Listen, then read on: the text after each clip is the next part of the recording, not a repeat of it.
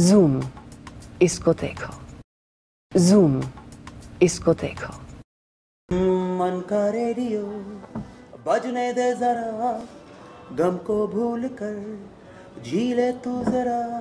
Station कोई नया। हिमेश रेशमिया ने अपनी फ़िल्म रेडियो के गाने सुनाए अपने फैंस को।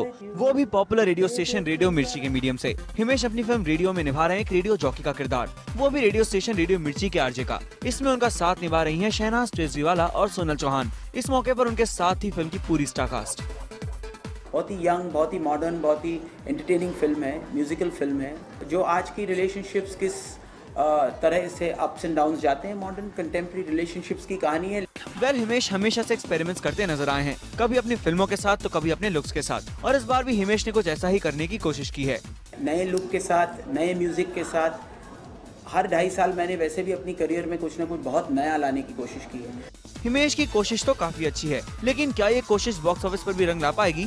इसके लिए करना होगा फ़िल्म की रिलीज़ तक का इंतज़ार। गम को भूल कर जी ले तू जरा, स्टेशन कोई नया ट्यून कर ले जरा फुल टू एटीट्यूड दे दे तू जरा।